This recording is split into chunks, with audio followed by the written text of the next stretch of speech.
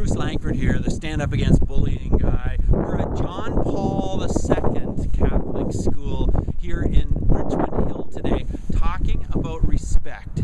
And we've done programs for primary, junior, and intermediate. And I talked to an intermediate student in grade 8 today who talked to me about a specific example of how he he experienced a young child in grade 1 who was having a rough time. It was being picked on. And uh, this child was not at John Paul II school, but what happened was the older boy was a role model to the younger boy and he talked to him and he helped him out of a tough situation.